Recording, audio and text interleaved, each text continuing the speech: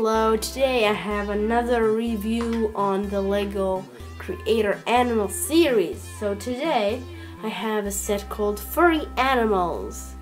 This is one of the builds. It is three in one, so I really love rabbits and I, that's why I mainly built it. And it looks way better than the cat, so it's just better.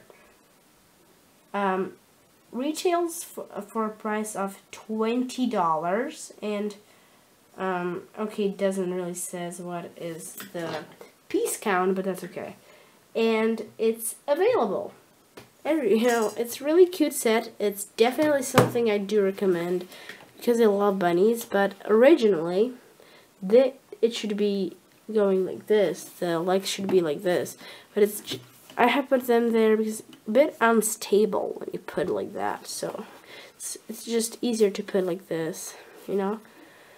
So it's really cute, cool, and has many, uh, you know, really a lot of cool building techniques. Over here, we got his cool pink nose.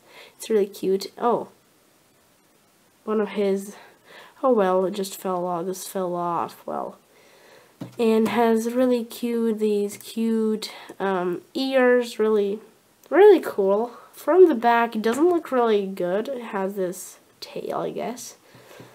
And yes you can move his head like this and that does not look that good. Although oh my gosh. There you can put it there. There we go. So it looks pretty cool though.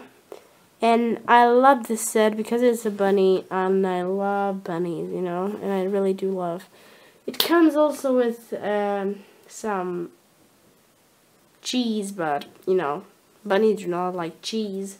So it's called Furry Creatures. It's really cool set. Um, recommended. Well, you know, um, twenty dollars is not. Too, it's actually it's a bit expensive, maybe for just this. If you're building just this rabbit, but if you build, if you're building a cat, it does look cool. And you can also build a, build a dog, so it's really cool. And yeah, this is all. Thank you for watching and see you in the next video. Don't forget to subscribe and comment below. So yeah, bye.